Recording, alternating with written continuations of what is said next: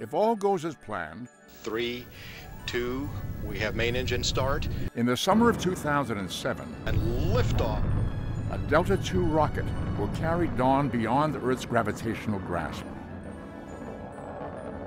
When that Dawn spacecraft lifts off and we're on our way to finding out about some of the biggest mysteries in the solar system, that's something we can all be part of.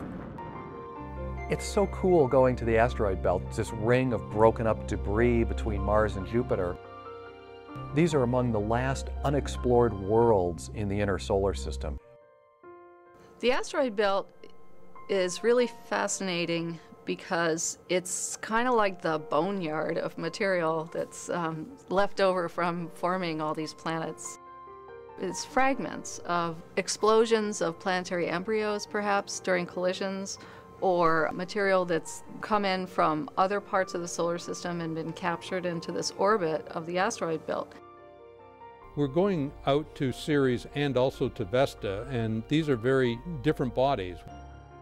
Vesta is the brightest asteroid in the solar system and the only one visible to the naked eye. In one sense, it's sort of like our moon, but in another sense, it's sort of like the Earth.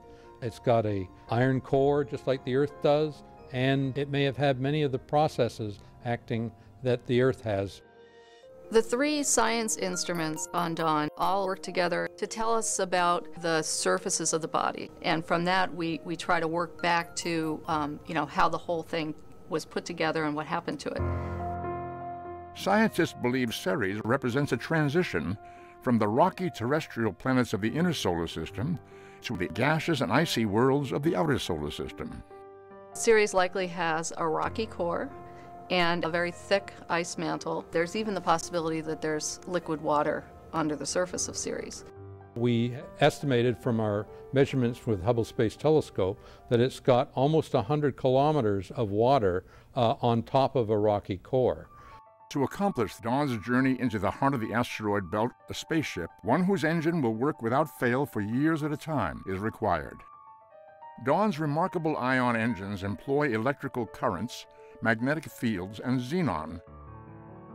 The high-tech innards of an ion engine change the xenon into a positively charged plasma and accelerate it out the engine at speeds over 78,000 miles per hour.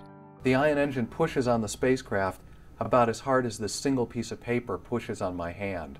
But this very gentle thrust eventually builds up and allows the spacecraft to achieve very, very high speed.